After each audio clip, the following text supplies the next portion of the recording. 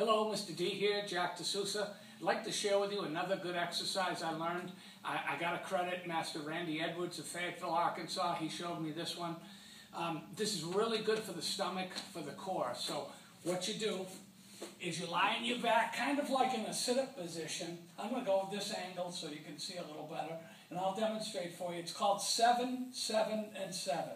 So three sevens. So first you're up and you count one, two, three, four, five, six, seven. So you're up about three quarters. Now you're about one quarter off the ground. One, two, three, four, five, six, seven. Then up for seven sit-ups. One, two. You want your chest to hit your knees.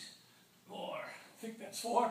Five, six, seven, and then here again, we're going to do three sets. One, two, three, four, five, six, seven, and then three quarters down and one quarter up. One, two, three, four, five, six, seven. If you look at the ceiling, it's, it's a tough drill. One, two, just starting out, three. You may just want to do two sets. Four, five, six, seven, or maybe even one set. One more time. One, two, three, four, five, six, seven. Here's where you earn the big money.